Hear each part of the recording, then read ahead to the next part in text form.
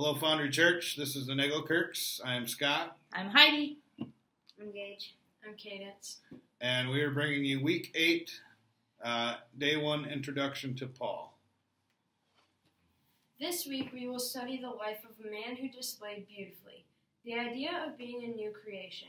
In fact, he started out as a man named Saul and ended up as the Apostle Paul. It is quite a story. After Jesus ascended into heaven and the Holy Spirit was poured out on his believers, the church began to grow rapidly. Some were furious about this. One in particular was a young man named Saul. Saul had the best Jewish pedigree. His prestigious family, his education, his observance of every law and custom set him at the top of the heap. He hated what these Christians were saying, and destroying their movement was his obsessions. Saul stood off arrogantly, approving the stoning of the, Christ- the first Christian martyr. Stephen, the story of Stephen, is profound and beautiful. If you want to read it, you will find it in Acts 6 and 7.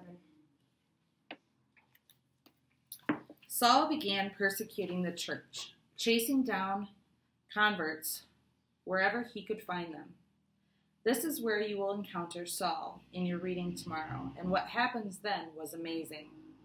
After that point, Saul was given a new name, Paul.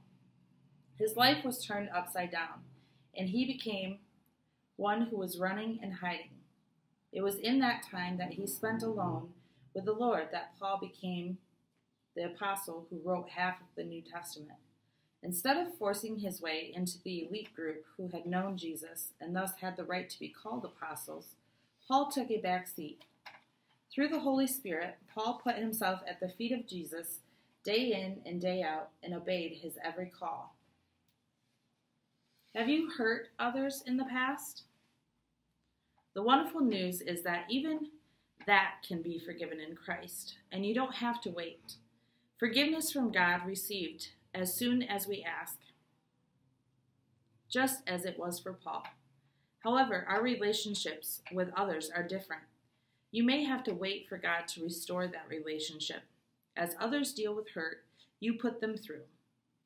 When we experience forgiveness and grace from God, the new lease on life that produces is so wonderful and freeing. Take a cue from Paul and spend every moment you can at the feet of Jesus, waiting on Him to refine you and prepare you for the ministry God has called you to.